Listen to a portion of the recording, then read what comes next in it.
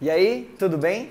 Meu nome é Giancarlo Trevilato, sou pastor do Colégio Adventistas de Novo Hamburgo, ajudando também na Igreja de Canudos. E se você acompanha essa página aqui há algum tempo, a gente já esteve juntos algumas vezes.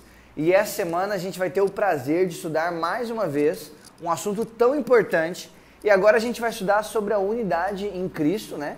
É a unidade que a gente tem estudado já o trimestre todo. E especificamente essa semana, nós vamos estudar a respeito da unidade na fé para que a gente seja realmente unido, é importante que a gente creia nas mesmas coisas. E nós vamos estudar todos os dias é um assunto diferente, uma doutrina e uma coluna da nossa fé. Eu queria ler com você primeiro o verso que vai ser o verso que vai nos guiar essa semana.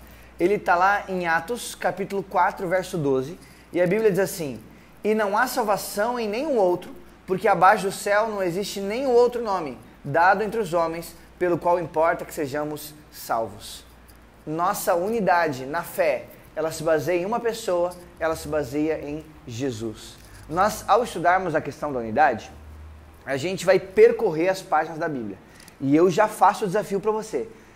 Quero que você estude todos os dias a Bíblia. Todos os dias tome um tempinho do seu dia que você comece com cinco minutos, por exemplo. Mas para um tempinho ali, abra a palavra de Deus, permita que Deus fale com você através da Bíblia. Você sabe que o único objetivo da lição da escola sabatina é esse, fazer você se voltar à Bíblia. E quando a gente fala em unidade da fé, já parou para pensar que a gente tem uma Bíblia só, mas milhares de igrejas? Se a gente tem uma só Bíblia, por que, que a gente tem tantas igrejas? Porque muitas vezes, é, talvez uma parte da resposta, né, é porque talvez falte estudo verdadeiro da palavra de Deus. Então eu te convido a essa semana comigo a gente analisar isso que Deus está nos falando, essa mensagem que Deus tem para nós a respeito da nossa unidade na fé, para que nós tenhamos apenas uma fé e aí agora unidos tenhamos apenas uma doutrina e possamos levar o evangelho a todo mundo. Que Deus te abençoe. Essa semana vai ser muito gostosa. Eu queria orar com você para que a gente possa pedir a bênção de Deus para a semana que está só começando. Vamos fazer isso? Senhor Deus, muito obrigado por esse dia. Te agradecemos porque o Senhor tem guardado a cada um de nós. Pai, essa semana a gente vai estudar a respeito da unidade é, na fé, nas doutrinas, naquilo que a tua palavra ensina.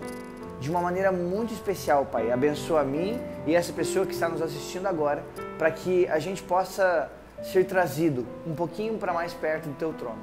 Esteja conosco, em nome de Jesus. Amém.